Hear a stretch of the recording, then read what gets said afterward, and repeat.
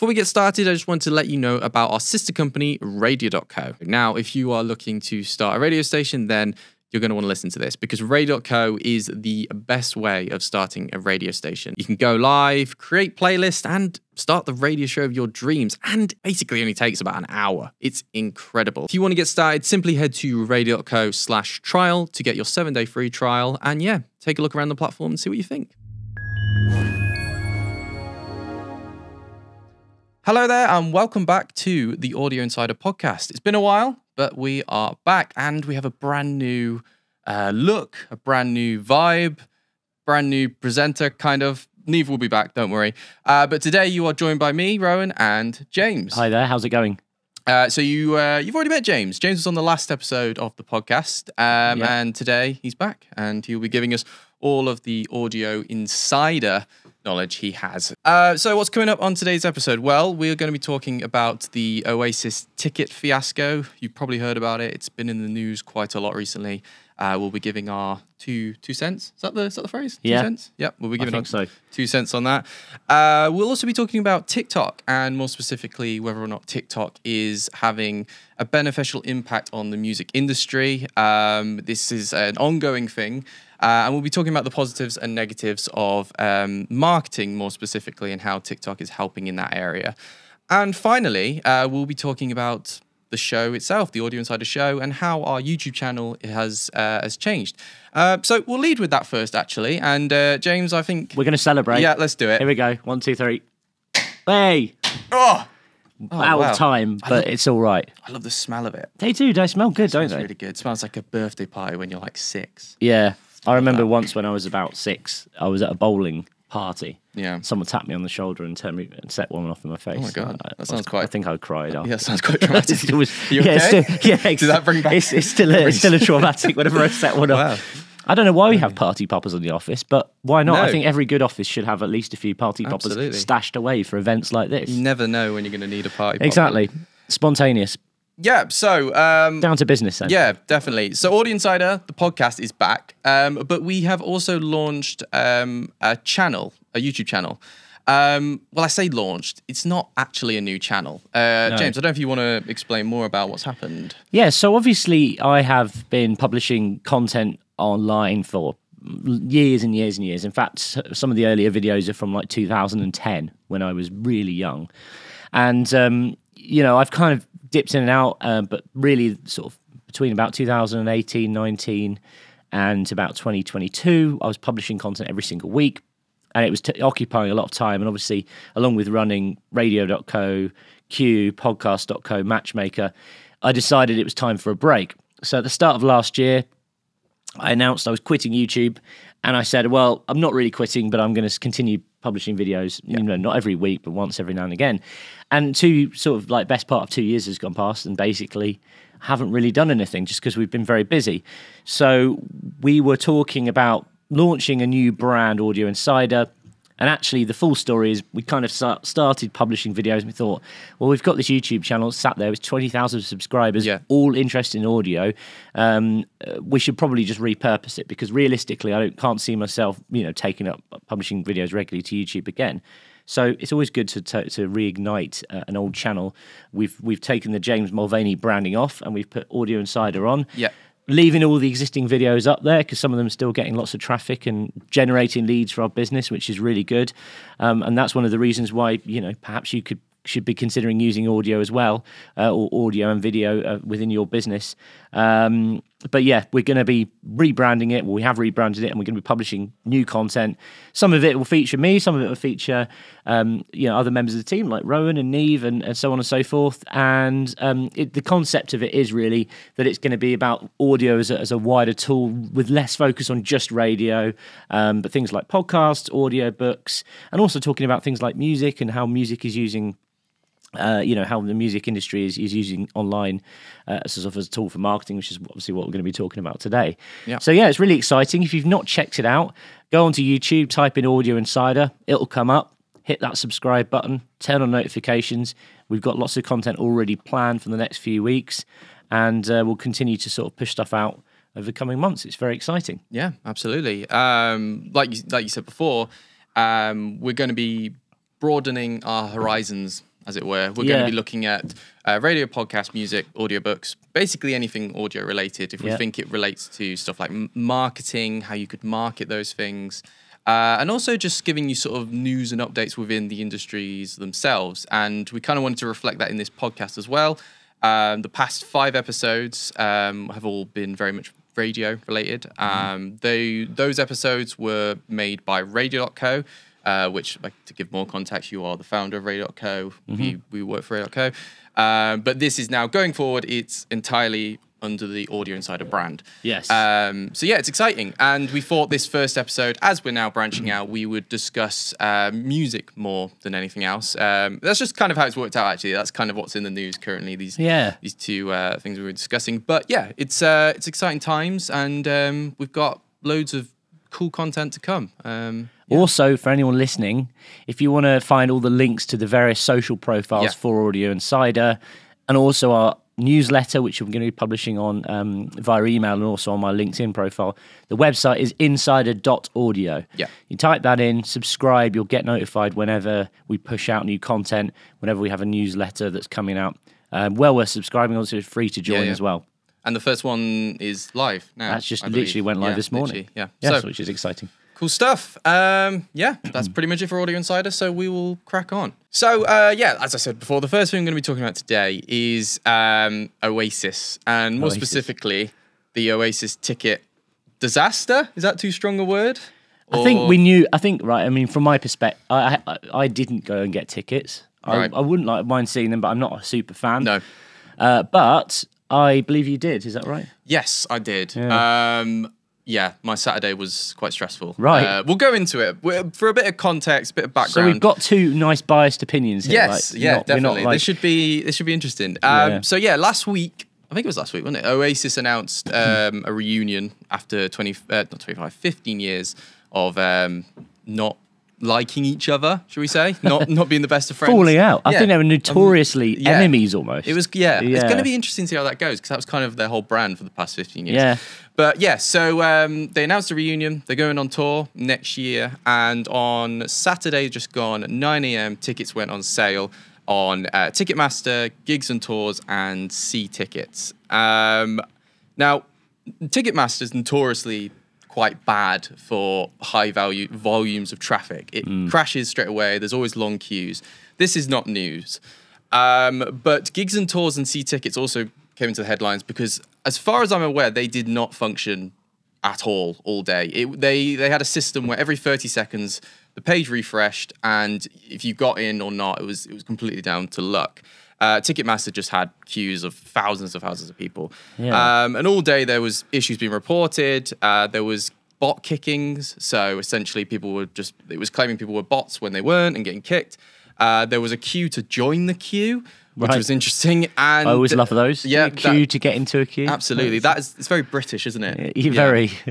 Um, and also the thing is, though, there's kind of no way to, to push in, is there? You can't cheat No. this stuff. No, absolutely not. Um, and there was also just people getting kicked out as soon as they got to the front. So Yeah. you get in, you're about to buy your tickets, and you get kicked out, and all of a sudden you're at the back of the queue.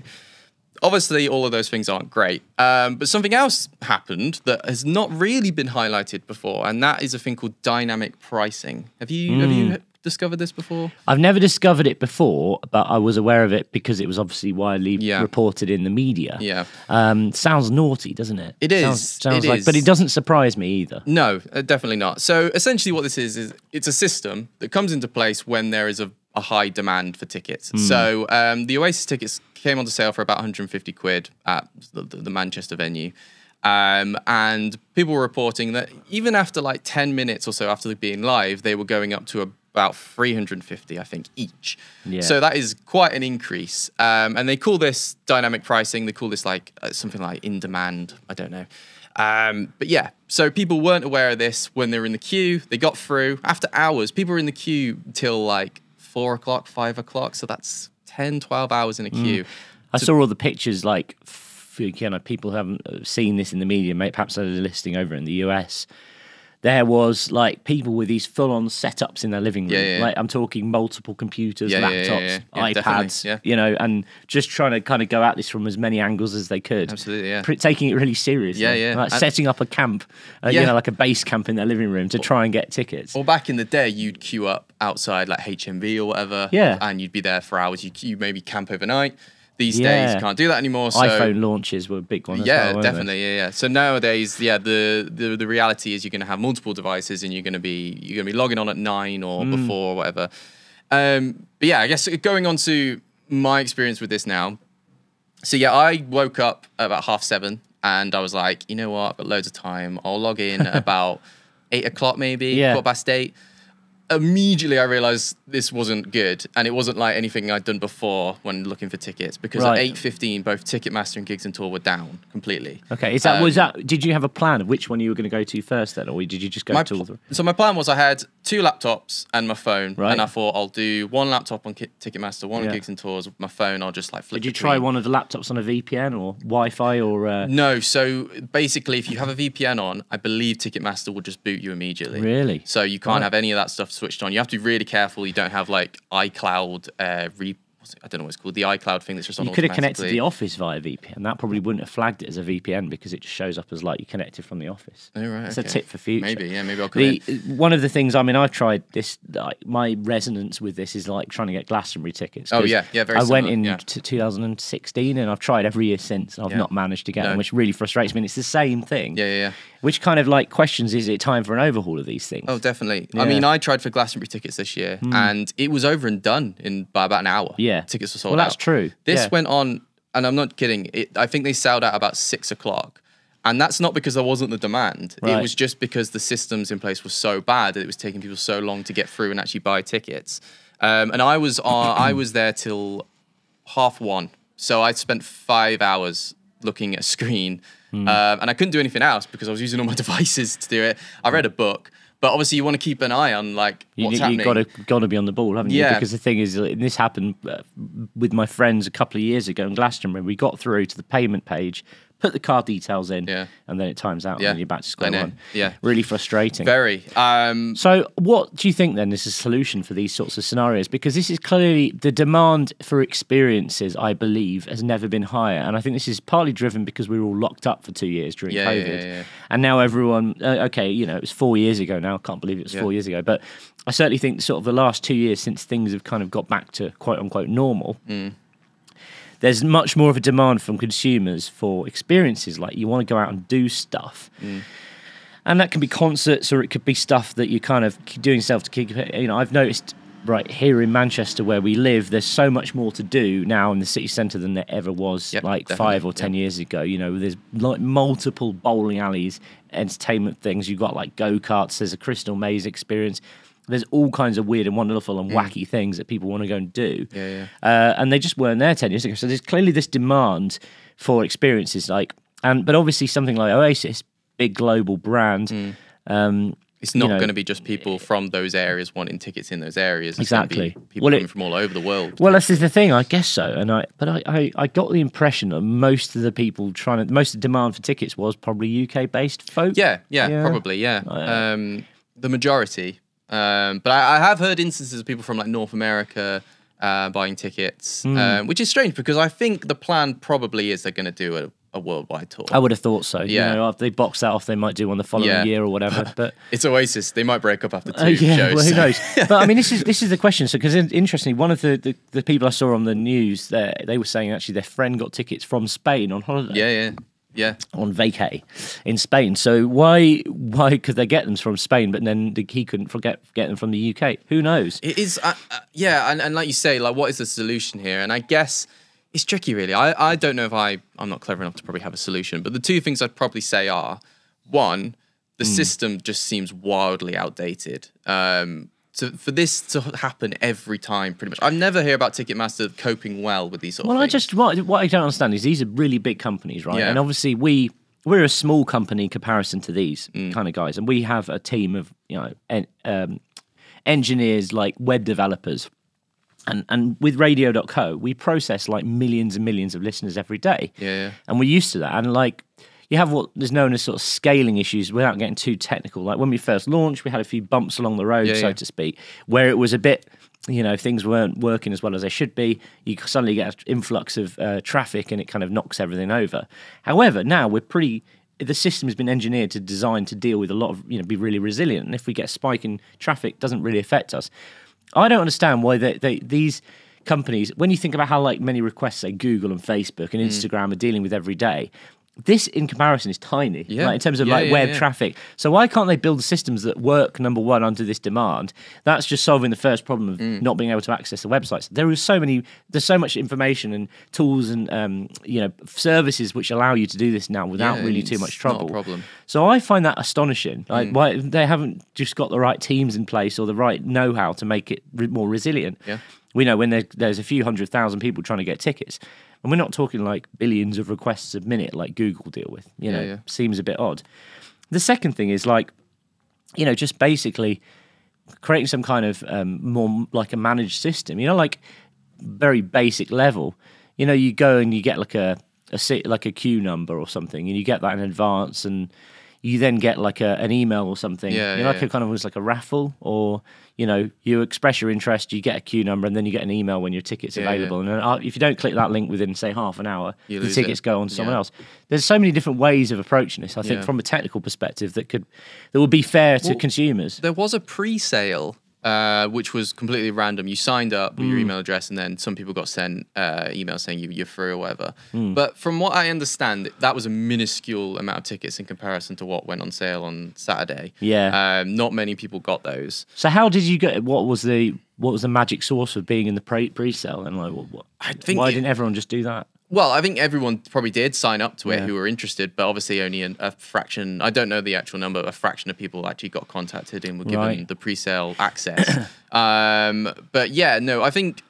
I, I mean, I, I actually didn't say, but I eventually got tickets. Um, and the way I did that was I was on the Oasis Reddit, Hmm, okay. just like looking at all these angry Conspiracy comments. theories Yeah. and things like, hey, here's how you can uh, hack the but system. literally, that's what started happening. Yeah, and yeah. as I was becoming more and more desperate, that's what I did. And one of them worked, and that was how I got tickets what was it? basically, I gave up on Ticketmaster altogether. I did actually get through through the queuing system. I think I was like seventy five thousandth in the queue. Got through that after about a few hours, and Yeah. it booted me out. It was rubbish. Yeah. Gave up on that, and then I went on to gigs and tours, and like I say, it refreshed every twenty seconds. So what I did was, I saw fi- people figured out that. There's probably no queue system here. It's literally just seeing if there's a space for you. Right. So every instead of every 20 seconds, I just kept pressing refresh over and over again. Oh, and I ah, did right. this for about two hours. And oh, eventually wow. I got in. So yeah, it worked, but what a terrible system. Hey, um, a little tech tip: but if you do that again, there's probably a browser extension you can download Oh, which will gotta be, yeah, automatically refresh it every yeah. given number of seconds to save your fingers from getting yeah. a repetitive strain injury. I was terrified I was going to press refresh when it actually came up, and I Oh, was yeah, because I was in yeah, such yeah, a yeah, thing. yeah. But luckily, But you literally sat there and did that for two hours. So two that's some dedication. It was. I, yeah, but I think the more it went on, the more I was determined because I was like, I can't. And and, and how, what time did you say you get? Was it one o'clock? About half one. Right. Yeah. And you better by that stage you've been up since seven o'clock in the morning, and you've I've been doing it for yeah five hours or so. So Right, yeah. a lot of mental turmoil. that? Absolutely, yeah. Yeah. But again, I guess going back to how do we solve this issue? Like you say, obviously there's the technical side. I guess got to, there's got to be a cute, a fairer way of doing it. Like Oh, a yeah, less yeah. sort of like resource intensive. Just like right, okay, you've got you register your place in the queue. Yep. You know, maybe you have to submit ID and proof of address or whatever. And again, you can automate all of that now, Yeah, can't you? These days, definitely. And and just so you can make sure that they're not a bot and they are actually a person wanting a ticket, Yeah. or not just some a tout. You know, val- validating identity and saying, okay, right, you'll register that address. No one else can register that Yep. address. Whatever. You know, you get your place in the queue. You then get a certain yeah. amount of time to redeem it. If you don't, because you've not you're taking her off the ball, that's too too late. But there's all sorts of stuff they could do. There they could text you to like let you know that your, your Yeah. tickets are, are now available. You've got to click complete your purchase. You've got 20 minutes to do or whatever. absolutely.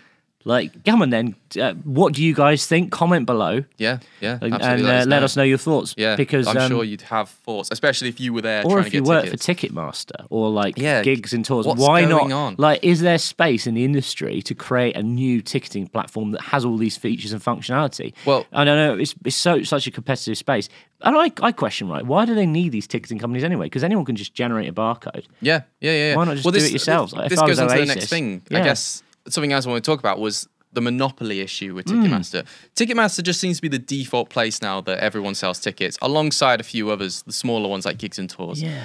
And I guess the question there is why? Like, why is that the case? And two, Yeah. why can't we move away from that? I don't get it because, I, as I say, the, the- fair enough. The technology to actually like print tickets, like just all it is is a unique ID that's Yeah, yeah. attached to a transaction. Yeah. If I was Oasis, I'd be selling the tickets myself. Yeah. Cut out the middleman. I don't know why there is this reliance on these third-party companies to do this because actually, Ticketmaster ain't selling the tickets. It's still Oasis Yeah, or yeah, whoever it might be Yeah, yeah. promoting and selling the tickets on their own channels, going and doing all the um, you know TV and radio interviews or whatever. You know, and again, this this is the same for smaller, like much smaller artists as well. I just don't understand the need for these ticketing platforms. No. Well, maybe you know, certainly when you get into that scale, why don't they just sell them directly? Yeah. Don't know. So I, I really can't answer that question. I'd love to know the answer. no, definitely. Perhaps you work in the industry and you you could tell me why Yeah. why don't they just build their own platform Yeah. to sell tickets?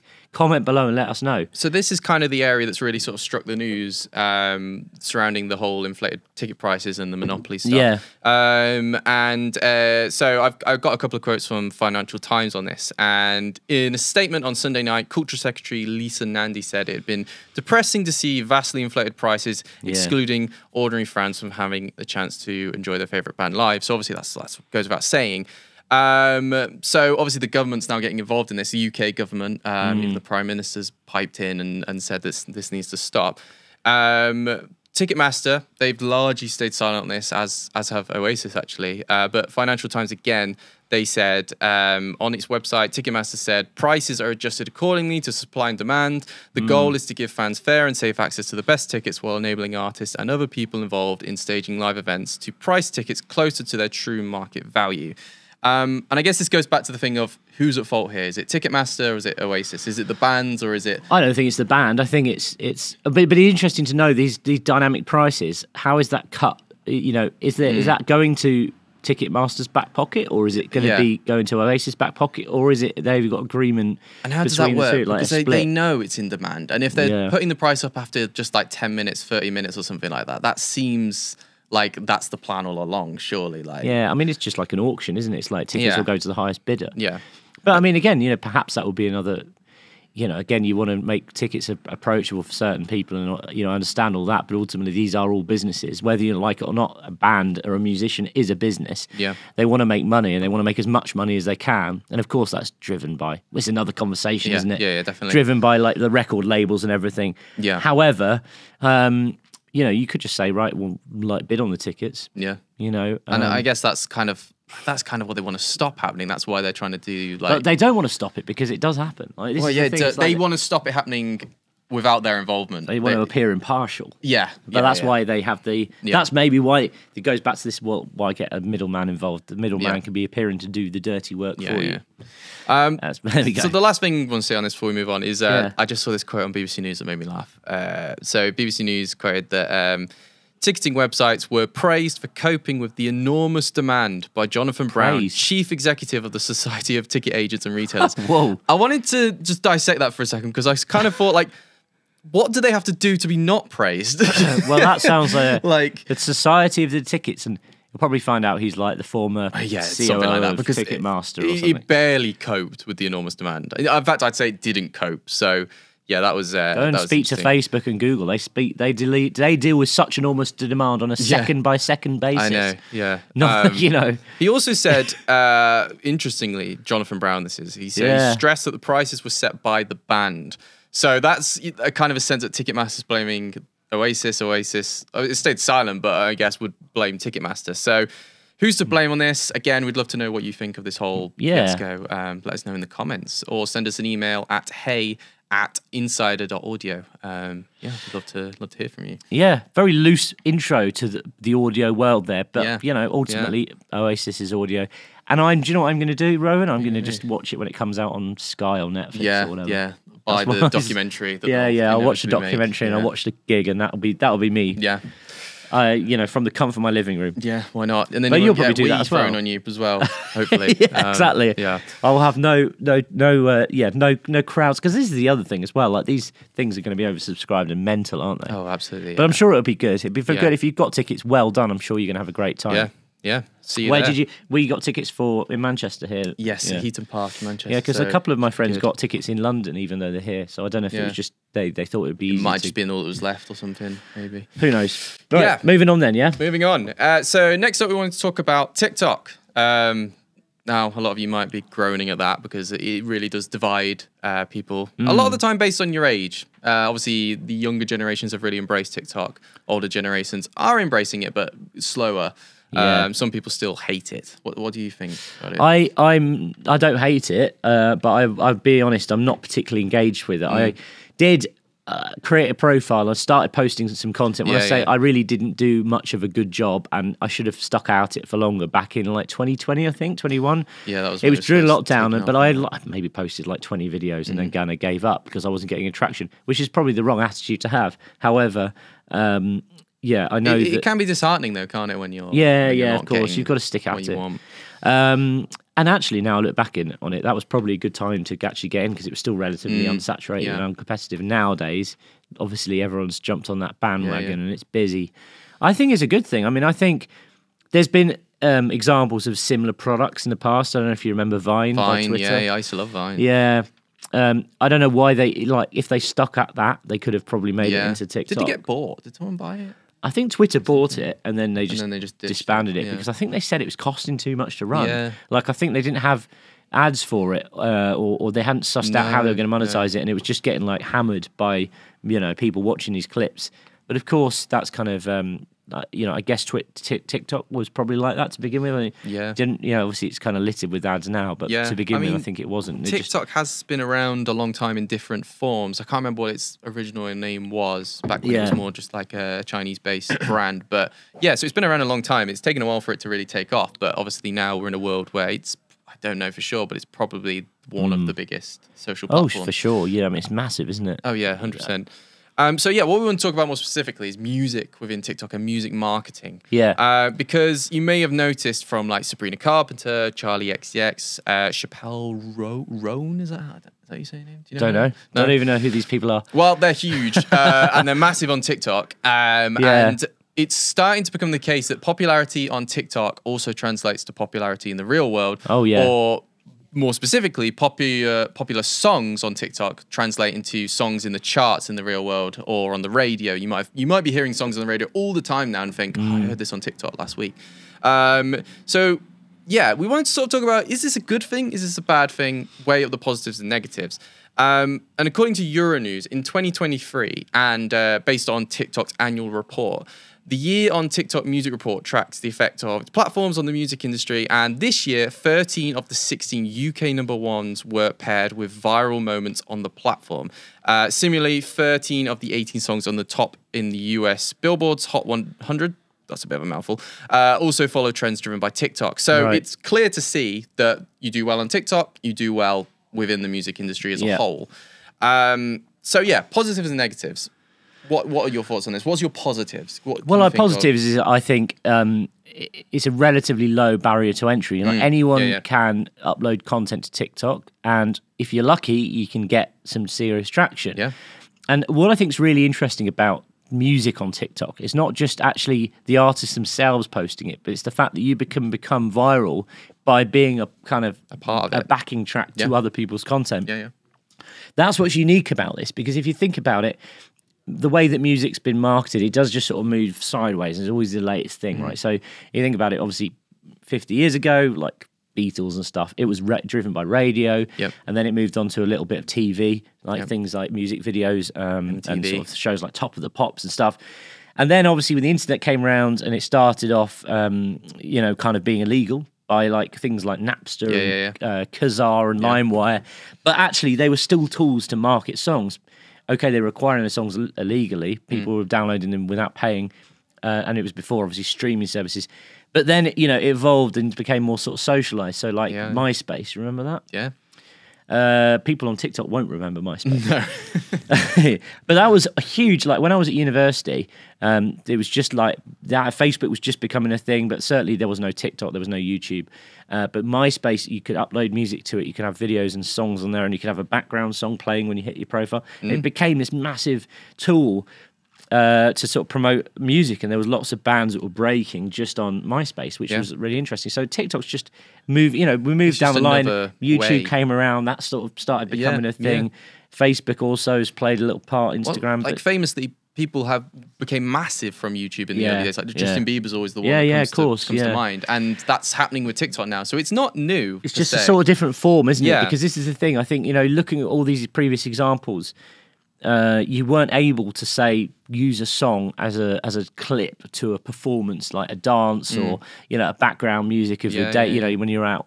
You know, you watch like these travel vloggers or whatever. They've always got like these songs as the background when Mm. Yeah. they're like, you know, showing you around the cruise ship or whatever it might be. Uh, so that's that's cool, and I think I think that's a positive. You know, like it's just, but it is another channel of marketing. Um, uh, what are the negatives in your opinion? Because I don't really, I can't think of any off the top of my head. I guess one of the I guess one of the positives is also one of the negatives. So I'd say a positive of this is it gives uh, creators more um, chance to monetize their songs better because in the the current state of things, Spotify or Apple Music or something like that takes quite a large cut. So Yeah. artists don't make much money from streaming. Hmm. Um, if you add TikTok to the into the equation, it's just another way of making some money off your songs if Hmm. those, that song goes viral or something like that. Right. But that can also be a negative because it now means that um, artists are being forced really to use TikTok because Yeah. that's kind of what they have to do uh, to make a song go viral or to make money. Um, So they, again, it's a sort of monopoly situation, Yes, like Ticketmaster yes. we were talking about before. TikTok has Yeah. now got the monopoly on music discovery. Is it? yeah, What you trying to sort of say? And, and record labels Yeah. know this now, and they are looking for.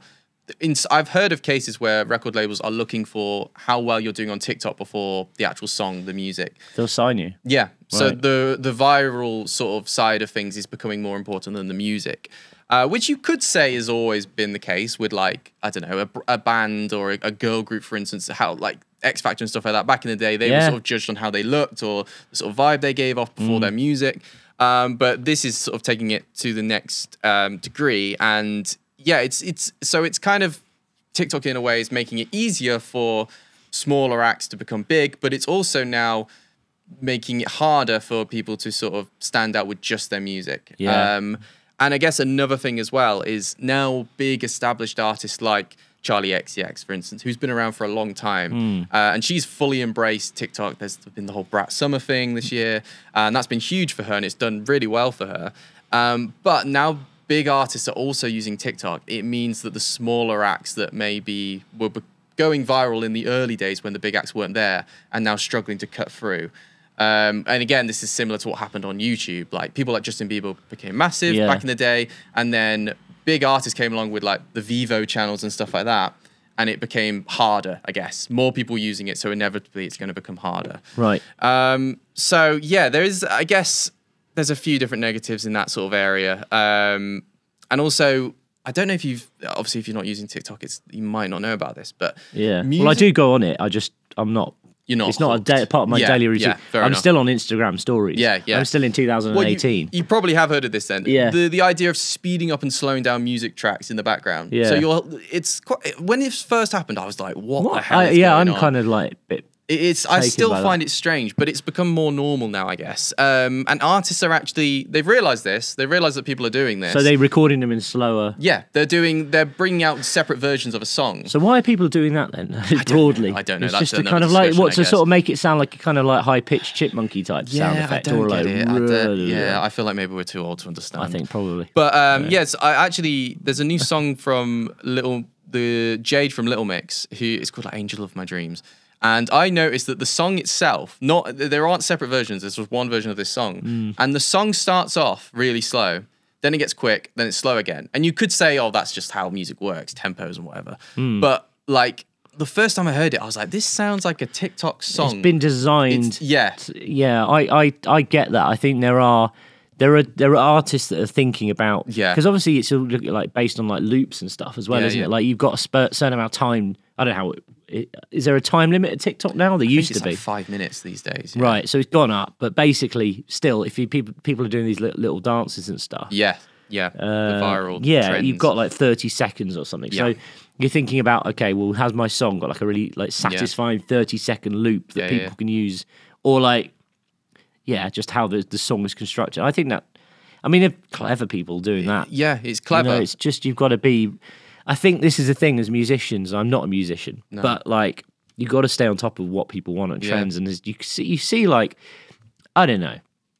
There's artists over time that are still around. They're still prominent, but they're just not releasing music like they used Mm. to. And I just think, well, is that because they're keeping up with the trends, or is it just because they like ran out of ideas yeah, or whatever? Yeah. I mean, the cynic in me goes, "Oh, this is. I hate this. I Yeah. hate this so much because it's the the the whole point of this is the music, right? And that's kind of being lost. But then, yeah, like you say, it's clever and it needs. It has to happen, I guess. If this is just the way it is now. If if artists want to do well Hmm. and keep making music, this is what they have to do. Um, and I guess you can't can't really knock that in a way. Yeah. Um, but yeah, there is there's so many songs now where you hear them on the radio Yeah. over and over again, and the chorus is really catchy. It's really cool. You love it. The rest of the songs just sort of like, eh.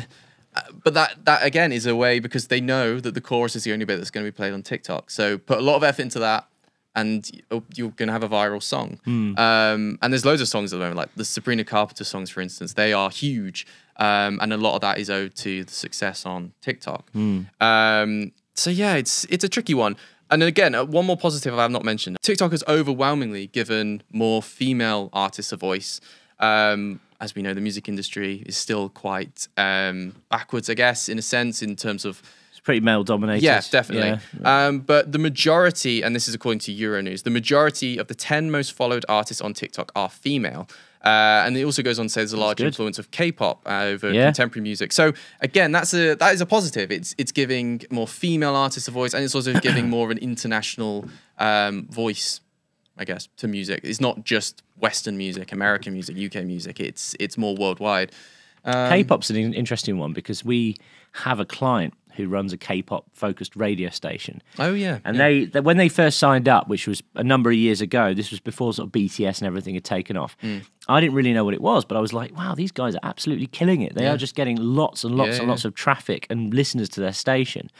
And so we sort of like kind of asked them, like, why is this? You know, Mm. what are you doing which is different? And what is this K-pop? And they kind of explained that it's, you know, um, that each of the artists has got these big followings, and like Yeah. they were leveraging the um, the artist fan bases to like basically build their radio station and get more traffic, get more listeners, and get these kind of people engaged where they come back and listen again and again. And we're playing these fan bases off against each other, saying, "Well, if you vote for your artist, we'll play it more." Yeah, yeah. All of this stuff, and I was like, "This is really clever." And I think. Yeah. You know, you could apply this to sort of any market, but uh, what was really interesting was at that stage I'd never heard of K-pop, and I was just like, these guys are, are absolutely smashing um, and doing really, really well with with the sort of the branding and everything just was felt right for what they were trying to achieve. absolutely. Yeah. Um, so yeah, there's there's definitely like ways as like businesses and marketers that we can kind of tie into this stuff. Yeah, it's it's fasc- I find this stuff fascinating, and um, like I say, uh, I mean, neither of us are massive TikTok fans, but you kind of have to use it. You can't ignore it. you it. Can't ignore it. It's, And we've had some hits recently. yeah, yeah, absolutely. just random, like, just stuff that we post quite regularly on TikTok across like How, how many views? and- Because you said the I remember you saying the other day on Slack that there was like, wow, one of our videos has Yeah. had like, was it like lots of views? like eight eight hundred thousand. Eight hundred thousand views, and this is the thing, like for a small business to be able to go and get that kind of reach. Yeah, on a was- forty second video, an Yeah. ad essentially. Was yeah, an advert. yeah, un- unheard of. But I mean, eh, but we couldn't really put a finger on exactly why it had No. taken off. It just had so. And it happened again shortly afterwards. Yeah, Um, maybe that's the algorithm starting to say, "Oh, this account's worth Yeah, giving some traction." Because this is the thing I think with it, like there's always things. Same with YouTube, you are sort of tied to the algorithm, and you can't you you know po- posting good quality stuff doesn't necessarily guarantee your success. Um, it just sometimes you are reliant on the algorithm saying actually this account's worthwhile sending traffic to, and once you're in its good books, you could Yeah. potentially get you know more and more traffic, and this has happened to us on YouTube and stuff as Yeah, well. and it can come through a different Yeah, a variety of different ways. It can come from having like one absolutely Yeah. banger video that just does great, and all of a sudden your channel is now getting lots of attention. Or it could be consistency over five years. You might do ter- like getting terrible results over the first five years, and all of a sudden the algorithm's like, oh, you've been posting regularly, we'll give you some attention. It it, it can be strange. It's just- it's a hard one to work out, but yeah, I, I guess the main bit of advice is to just keep going with. Um, these sort of channels, especially TikTok, because you never know Hmm. when you might get that one hit that uh, gets you there. Interesting stuff. Yeah, definitely. Um, so before we wrap up, um, I always like to end Audio Insider with a with a little fact of the day. Oh, yes. uh, fact of the day slash future slash past. Uh, roll the the thing. OMC Fact of the Day slash Future slash Past. Incredible. Uh, so I'm going to turn my screen because I, I like to I like to surprise the guest with the fact. Uh, if I can find the fact. Where's the fact gone? Here it is. Okay. Here's the fact. Cool. Go on. So, uh, now we like listen to music. That's Yeah. clear through this, uh, and we like to listen to music while we work. I don't know. Do you like to do that? Mm. Yeah, yeah, absolutely. So uh, it's widely encouraged as well by employers to play music uh, to their employees because it keeps morale high. You know, people having fun while they work. Mm. Uh, but in 1978, studies by a Polish vocalist called Michael Wiz- Wisniewski Yeah. so sorry for butchering that, uh, found that one type of work in particular really benefited from music. You got, have you got any ideas what kind of worker that could be? Wow. Right. It's very, very um, broad, I know, but Agriculture. kind of, nearly. Do you why want to be that- more specific? No, farming. What, what kind of worker? Oh, um, I don't know. People driving tractors. No, I've never heard of them driving any tractors. No. It's cows. Really? Yes, uh, cows like music. um, so he played some classical music to his cows and found that they produce more milk because of this. Uh, and other studies since have been conducted and found very similar results. Um, according to Vet Help Direct, this is because animals experiencing high levels of stress will produce high levels of cortisol. Not, I'm not a scientist. Uh, within their bodies, uh, and this so-called stress hormone interferes with milk production. Yeah. Um. So, have you got any guesses what kind of music they like? Like classical music. Yes. Yeah. Yeah. that's up there. But say if you were going to, I don't know, you're going to visit a cow this this evening, and you As were going to, yeah, maybe, Right. yeah, you were going to put on a bit of music for him, for, or her, or particularly her if we're getting milk. Yeah. Um, what, what what kind of music wouldn't you play? I don't want to be too bullish. ba-dum. I don't know, like something like heavy, like heavy metal or rap or rock Yeah, or like yeah. yeah. So, uh, a study by Kemp. I don't know who Kemp is. That's all. That's all I found. He knows a lot Uh, about cows. He does. Yeah. Uh, He Yeah. found that the behavior varied between genres. Um, this made me laugh. They were on edge with heavy metal. Uh, just, how- what's a cow's favorite type of music? I love it. I love it. This is going to keep happening, isn't it? Probably. Uh, they were confused by rap. I don't know how a cow looks confused. I, but well, because they can't understand. I mean, it's because it's words, isn't it? I, I would think it's like the melodies that resonate. Yeah, yeah. Yeah. But uh, they enjoyed country, classical, and Yeah. reggae. Uh, but Lullaby was almost deemed too successful because they started falling asleep. Wow. So there you There we go. go. I mean, do you know this is interesting because I have a doggy, and when we go out, I put music, classical music normally, Oh, like yeah, yeah. Radio Three, BBC Radio Three, or Don't we have um, a, we have a station, don't we, for dogs? yeah, there is music for, Dogs or pets. something like Yeah, that, Uh, and yeah, so I I just do this. It's like just because I heard this, that it's good, keeps them company Yeah. when you're out. You know, if you're out having dinner or whatever for a couple of hours, just don't leave them alone in silence. Put some classical music on. But I guess it works for all sorts of animals. Yeah, absolutely. So there we go. There's a fact of the day that was actually might have been useful for you. Audio. Yeah. OMC Fact of the Day slash Future slash Past. So yeah, thank you very much for watching this first uh, episode of Audio Insider, the first episode back, I should say. Uh, we will be uploading regularly, uh, so make sure to hit subscribe and follow us on all of your podcasty platforms such as Spotify, uh, Apple Podcasts, YouTube, etc. Um, yeah, and also if you enjoyed this episode, please leave a review if you could. Um, I'm gonna be looking through the reviews and I will read out the best ones. We might even send you a party popper. maybe, Maybe. maybe we will. We probably won't, but maybe We'll we just will. keep them for ourselves. Yeah. Maybe we'll we'll do a party popper for every review.